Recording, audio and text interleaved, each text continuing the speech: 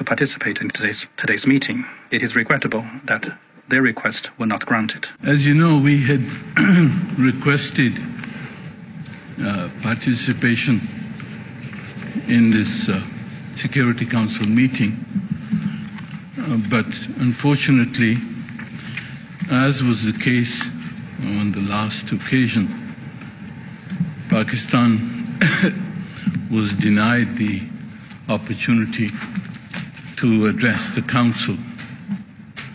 And this is uh, most regrettable. We are not surprised by India's anti Pakistan partisanship. This confirms Pakistan's long held contention that India does not deserve to be on the Security Council, much less to aspire to become a permanent member of the Council.